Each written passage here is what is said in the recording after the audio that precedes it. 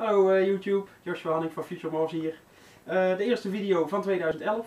Uh, het is inmiddels eind januari en ja, het Gutata, het rode radslangen kweekseizoen zit er weer aan te komen. ik begin meestal mijn mannen en vrouwen in begin februari bij elkaar te zetten. dus ik dacht dat dit een, goed, een goede tijd was om eens te laten zien welke verparingen er dit jaar allemaal op het programma staan. Dus nou, wat we hier in onze handen hebben is een mannetje een Ultramel Annerie Motley. Uh, mogelijk heterozoot voor karamel. Hij is wel heel geel, dus daar, uh, daar hopen we zeker op. Uh, nou, dat is, dat is een mannetje die dit jaar zijn best mag gaan doen. Dan gaan we even terugzetten en dan zullen we eens wat meer dieren laten zien. Onder andere het systeem wat ik gebruik om de kweekdieren bij elkaar te zetten en zo. Nou, ik zal even deze laten zien. Kijk, elke man heeft zijn eigen kaartje. Uh, nou ja, zoals jullie zien, dit is wat we net in onze handen hadden. Hij zit nu hier alleen, dus dan leggen we hem hier neer. Het vrouwtje wat uh, zijn uh, potentiële partner is dit jaar, die zit een bak eronder. Mochten we hem daar nou bij zetten, dan leggen we die kaart daar neer. Zodat we weten dat het mannetje in die bak zit. Verder heeft elke vrouw ook een eigen kaart, maar dan een wat uitgebreidere. Zoals je hier ziet is het een Dilute Annerie Motley, het Amel vrouwtje. En met de man die er die erop mag, uh, zijn trucje mag doen. En uh, nou ja, ik hou het gewicht bij. Dus uh, ze zat bijna twee weken geleden op 333 gram. en vorig jaar heeft ze 16 goede eitjes en 0 slechte eitjes gelegd. Dus dat houden we ook allemaal bij. Nou, nog even een overzichtje maken. Kijk, je ziet hier steeds een kaartje uitsteken met de man en de kaart die aan de zijkant staan. Dat zijn de vrouwen. Nou, we zullen de vrouwen die we het net over hadden eens even laten zien. Ik zal sowieso eens beginnen met hier een overzicht van de bak. Het zijn dezelfde curves natuurlijk waar ze altijd in zitten, met de beukensnippers en de waterbak. Maar dit keer ook een grote braplastbak erbij, uh, met een gat erin gemaakt. Deze ligt er mooi half in, dus dat is mooi te zien. Uh, en in de braplast ligt vochtig uh, ja, mos. Dit is, ik heb voorheen mos gebruikt. Dit jaar voor het eerst Forest Mos heet het. Ziet er een beetje hetzelfde uit, maar dan wat groener. Dus is pure legbox voor de vrouwen om uh, er eieren in kwijt te kunnen. En ook om makkelijk te kunnen vervellen. Want ze vervellen natuurlijk uh, wat vaker als ze uh, zwanger zijn en eieren gaan leggen. Nou ja, dit is dus de Dilute Annerie Motley, het aanmelvrouw. nou, met de man die we dus net hebben gezien, komen daar in één keer Annerie Motley's uit. Ook uh, Snow Motleys en Ultramel Annerie Motleys. En allemaal het Dilute. Dus uh, ja, Dilute is een redelijk nieuw gen waar er niet zo heel veel mee wordt gedaan. Dus dan gaan we eens kijken wat Ultramel en Dilute samen doet in Annerie. Nou, hier de volgende man. Een mannetje van uh, nou ja, bijna twee jaar oud. Hij wordt in 2011 is hij 2 zeg maar. Het is een Cinder het Hypoman. Cinder is een Annerie type C. Dus je hebt eh, de Annerie A, uh, dat is de normale Annerie. Annerie type B is de Charcoal en dit is dan type C. Uh, Cinder wordt ook wel Ashy genoemd of de Z-Morph. Maar ik vind Cinder het beste klinken, dus dat houden wij aan. Ook een redelijk nieuwe mutatie in Nederland, wordt ook nog niet zo heel veel meegedaan. Dus met hem ga ik ook proberen wat leuke heads te maken. Wat leuke heterozygoten. Nou, hier is er daar eentje van. Het is een amber striped. Dus een hypo caramel striped vrouw. Uh, nou ja, en zij is dus een hypo, de man is een het hypo, dus hier gaan wildkleuren en hypo's uitkomen. Tenminste, mochten ze doen wat, uh, wat we allemaal hopen. Uh, en die zijn dan heterozygoot voor karamel, voor gestreept en voor cinder. Dus daarvoor, ja, daarmee hopen we gestreepte cinders, hypo gestreepte cinders. en allemaal met karamel erin, dus een karamelcinder lijkt me zelf ook heel apart. Geen idee hoe ze eruit zien, maar daar gaan we hopelijk achter komen over een aantal jaren. Nou, deze man, uh, omdat zo'n leuke man is, heeft je druk dit jaar. Hij mag als hij zin heeft vier vrouwtjes gaan proberen te dekken. Dit is een karamel bloedrood, het hypo- en amelvrouw. Dus hiermee gaan we proberen voor de cinder karamels, maar ook zeker de cinder bloedroods. Die heb ik al wel uh, op foto uh, gezien. En cinder bloedrood ziet er echt heel cool uit. Dus die gaan we eens proberen ook te, na te maken. Nou, weer een dier met karamel erin, maar dit keer een butter. Dus karamel amel. Um, het leuke van deze vrouw is dat ze ook het hypo is. Dus ook hier komt het het hypo van de cinder uh, mooi uit. Uh, Butter Cinder heb ik ook al foto's van gezien. Die zijn echt heel bizar om te zien. Uh, lijkt een beetje op hele gele snows. Is echt, echt apart.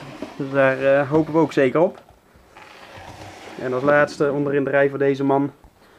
Ook mooi in de legbak al verstopt. Een lavender motley vrouwtje. Het Amel. Dus hiervoor gaan we voor de Cinder Motley en Cinder Lavender.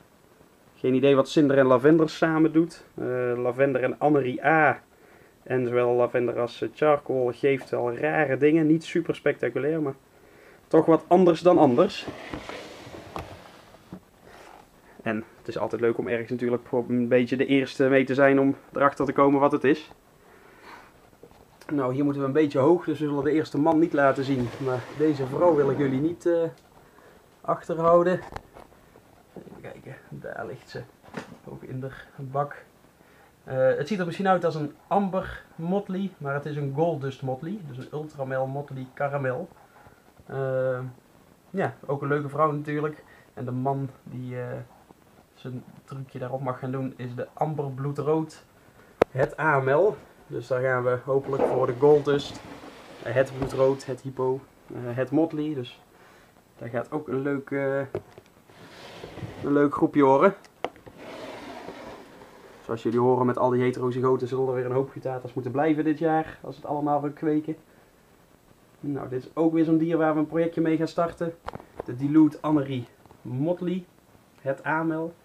Uh, in 2010 uh, deze en de vorige vrouw die jullie zien op elkaar gezet. Dus bleken allebei het Amel te zijn. Dus dat waren de eerste Dilute Snow Motleys. Sowieso in Nederland. Ik weet niet of ze al eerder zijn gemaakt. Maar dit jaar gaan we deze niet op elkaar zetten. We gaan deze man proberen te verparen met deze hele lichte caramel striped vrouw. Kijken of ze zo beter erop komt te staan. Um, nou ja, en ze is het Amel ook, dus uh, hiervoor gaan we voor de Motley Stripes en de Amel Motley Stripes. Het caramel en dilute. Dus uh, een dilute caramel.